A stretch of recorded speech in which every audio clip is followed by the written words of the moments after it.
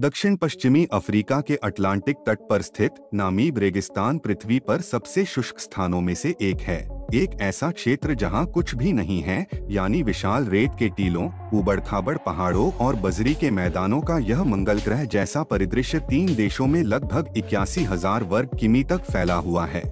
कम से कम 55 मिलियन वर्ष पुराना नामीब दुनिया का सबसे पुराना रेगिस्तान माना जाता है ऐसा माना जाता है कि सहारा केवल दो से सात मिलियन वर्ष पुराना है।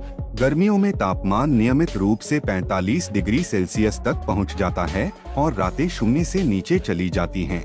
यह ग्रह पर सबसे दुर्गम स्थानों में से एक है। फिर भी, समय के साथ, बड़ी संख्या में प्रजातियों ने इस शुष्क आश्चर्य को घर कहने के लिए अनुकूलित किया है और इस प्रक्रिया में एक विचित्र भूआकृतिक घटना पैदा हुई है जो विशेषज्ञों को चकित करती रहती है। नामीब रेगिस्तान दक्षिणी अंगोला से नामीबिया और उत्तरी दक्षिण अफ्रीका तक 2000 किलोमीटर से अधिक तक फैला हुआ है, जहाँ से यह नाटकीय रूप से समुद्र में गिरता है।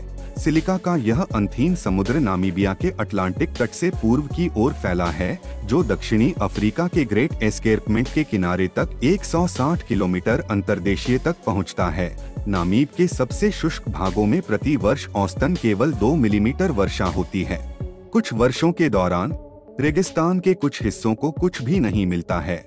लेकिन जैसे कि मृगतृष्णा से बाहर निकलते हुए ओरिक्स, स्प्रिंगबॉक, चीता, लकड़बग्घा, शुतुरमुर्ग और जेबरा जैसे जानवर जो इन कठोर परिस्थितियों में जीवित रहने के लिए अनुकूलित हो गए हैं, रेगिस्तान में इधर उधर भागते हैं। शुतुरमुर्ग पानी की कमी को कम करने के लिए अपने शरीर का तापमान बढ़ाते हैं। हार्टमैन के पर्वतीय जेबरा चतुर पर्वतारोही हैं, जिन्होंने रेगिस्तान के उबड़ खाबड़ इलाकों के लिए खुद को अनुकूलित कर लिया है। और ओरिक्स जड़ और कंद जैसे पानी से भरपूर खाद्य पदार्थ खाकर हफ्तों तक बिना पिए जीवित रह सकता है। दुर्गम नामीब के सबसे खतरनाक क्षेत्रों में से एक अटलांटिक के किनारे ऊँचे रेत के टीलों और जंग लगे जहाजों के 500 किलोमीटर का विस्तार है, जिसे स्केलेटन तट के रूप में जाना जाता है।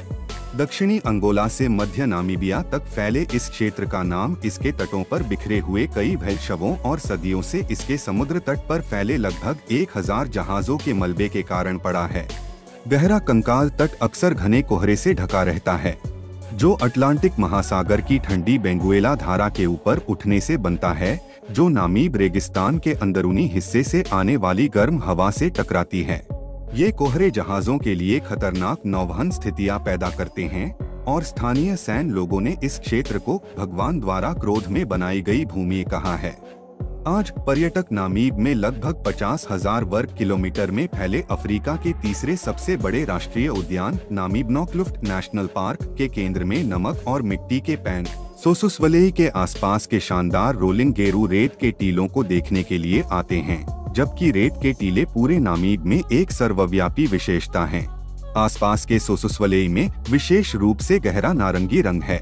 यह रंग वास्तव में जंग है। और रेत में लोहे की उच्च सांद्रता के परिणाम स्वरूप होने वाली ऑक्सीकरण प्रक्रिया का संकेत है। इस क्षेत्र के टीले भी दुनिया में सबसे ऊँचे टीलों में से कुछ हैं। कई की ऊंचाई 200 मीटर से अधिक है। जबकि तथाकथित ड्यून सात इंच लाल सोसुसवले परिदृश्य के उत्तर में स्थित है। नामीब के कई चमत्कारों में से इसकी सबसे दिलचस्प विशेषताओं और महानतम रहस्यों में से एक एक भूआकृतिक घटना है, जिसे फेरी सर्कल के रूप में जाना जाता है। कभी कभी फेरी रिंग्स भी कहा जाता है। घास की एक ही प्रजाति से घिरे रेत के ये बंजर टुकड़े पूरे नामीब रेगिस्तान में पाए जाते हैं और दशकों से विशेषज्ञों को चकित कर रहे हैं। छल्लों को हवा से सबसे अच्छा देखा जाता है, जहाँ कोई भी रेगिस्तान की रेत में अंथहीन रूप से फैले हुए वृत्तों के मैट्रिक्स को देखकर आश्चर्यचकित हो सकता है। नामीब के समतल बजरी के मैदानों और रेगिस्तानी टीलों दोनों में पाए जाने वाले परी के छल्ले दोनों इलाकों में अपने लगभग पूर्ण गोलाकार आकार को बनाए रखते हैं। मध्य नामीब में वृत्तों का व्यास एक दशमलव पाँच मीटर से छह मीटर तक है, जबकि उत्तर पश्चिमी नामीबिया में वे लगभग चार गुना बड़े हैं और 25 मीटर तक चौड़े हो सकते हैं। कुछ स्थानीय लोगों का मानना है कि ये रहस्यमय घेरे यूएफओ या रात में नृत्य करती परियों के कारण होते हैं। आज तक इन जिज्ञासु चक्रों के स्रोत के बारे में कोई सार्वभौमिक रूप से स्वीकृत सिद्धांत नहीं है, लेकिन हाल के वर्षों में नामीबिया, जर्मनी, संयुक्त राज्य अमेरिका और अन्य जगहों के वैज्ञानिक इस घटना को बेहतर ढंग से समझने की उम्मीद में इसका अध्ययन करने के लिए एक साथ आए हैं। गोबाबेब नामीब अनुसंधान संस्थान, जो रेगिस्तान के मध्य में एक दूरस्थ अनुसंधान केंद्र है। इसमें कीट विज्ञानी यूजीन मरैस ने बताया कि दो प्रमुख सिद्धांत नामीब में पानी की कमी से उपजे हैं। कुछ शोधों से पता चलता है कि ये घेरे दीमकों के कारण बनते हैं, जो ज़मीन से पानी और पोषक तत्व इकट्ठा करने के लिए ये घेरे बनाते हैं। भूमि से वनस्पति साफ़ करके दीमक मिट्टी में एक बंजर जगह बनाते हैं, जिससे वर्षा पृथ्वी में गहराई तक रिसने लगती है। सिद्धांत बताता है कि दीमक साल भर इन भूमिगत जलाशयों से पानी पीकर हाइड्रेटेड रहते हैं। दूसरा प्रमुख सिद्धांत वनस्पति स्वसंगठन का है, जहाँ घासों के बीच जड़ प्रतिस्पर्धा के कारण गोलाकार नंगे पैच एक जलाशय के रूप में प्रकट होते हैं, जहाँ से आसपास के क्षेत्र से पोषक तत्व और पानी निकाला जाता है। वर्षों के सूखे के बाद परिसर्कल घास अंतः सूख सकती है और गायब हो सकती है।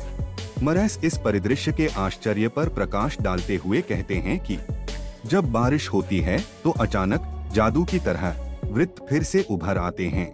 मरैस के अनुसार, नामीब के परी छल्लों पर शोध आमतौर पर रेगिस्तान के बजरी के मैदानों के अलग अलग हिस्सों या रेत के टीलों में पाए जाने वाले वृत्तों पर केंद्रित है।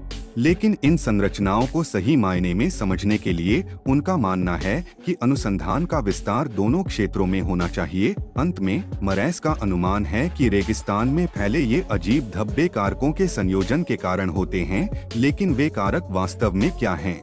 यह आज तक एक रहस्य बना हुआ है। वैसे दोस्तों, आपको इसके बारे में क्या कहना है, मुझे कमेंट में ज़रूर बताएँ और वीडियो को एक लाइक ज़रूर करें।